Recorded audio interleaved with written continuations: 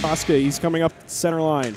Cross ice pass, rink wide, down to the base of the right wing, circle shot, they score! And the Steel will take a 1 0 lead off the stick of Camden Thiesing. Wearing their black uniforms well, it's a Black Friday blackout as we've encouraged all fans to wear black. Quick shot off the draw, and they score! Wow!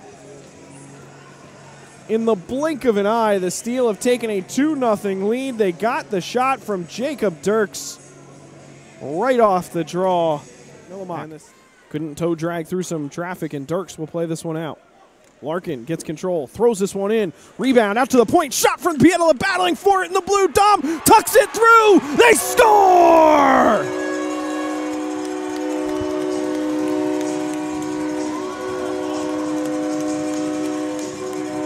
Garrett Dom pokes it home as it was laying in the blue.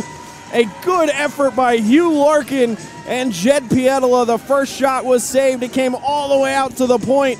Pietila's slapper off the leg. The right wing half wall.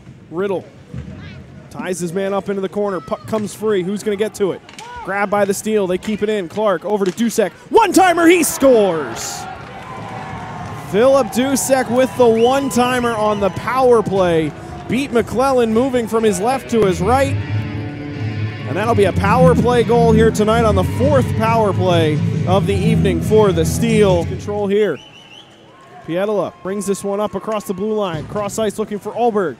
Puck knock free. Two, one. The horn will sound. Chippewa, the Steel, they grab this one on the road and win the first game in this home and home series and their first game against the Bruins in their third try this season. Final score Steel 3, Bruins 1.